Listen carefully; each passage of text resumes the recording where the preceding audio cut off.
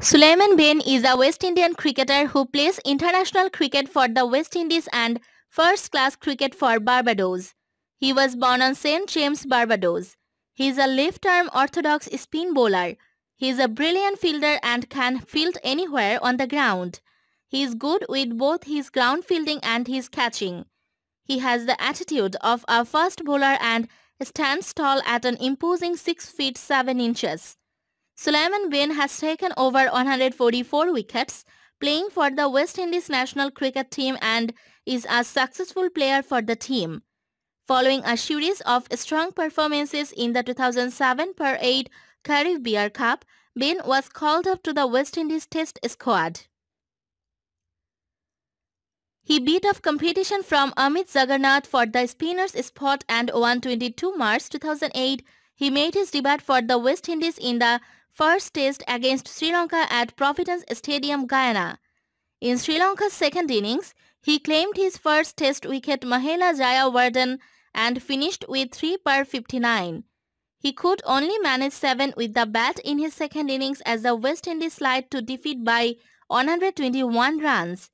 Benn's arm comes in at an awkward angle when the batsman faces up to him. He uses his height to good effect, often spearing in Yorkers and getting it to slide on with the arm. On 6 December 2009, on the third day of the second test against Australia, Benn managed his first 5-wicket haul with career-best figures of 5 per 155 after bowling 53 overs for the innings.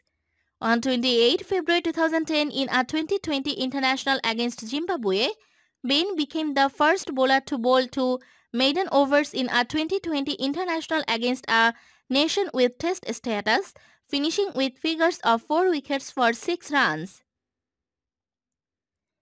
In the 2012 ICC World T20, he along with Nikita Miller set the record for the highest 10th wicket partnership in T20 World Cups 20.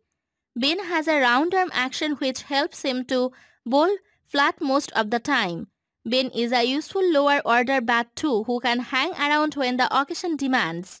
During the three test series in June 2010 against South Africa, Benn took 15 wickets at an average of 30.6 and a strike rate of 29.3 and achieved his test-based bowling figures of 6 per 81 in South Africa's first innings in the third test. His most notable incident came during South Africa's tour of the Caribbean in 2010 when Dallas Steyn spat at him after Benn had continuously slashed him during his stay at the crease. Benn was left out of the West Indian side after the 2011 World Cup as his disciplinary problems put an end to his career for the time being. Benn put all the controversies behind him and made a comeback to the national side in 2014. Since his return, Benn has scored 34 wickets in 8 tests. He has been the most dependable spin bowler for West Indies across all three formats.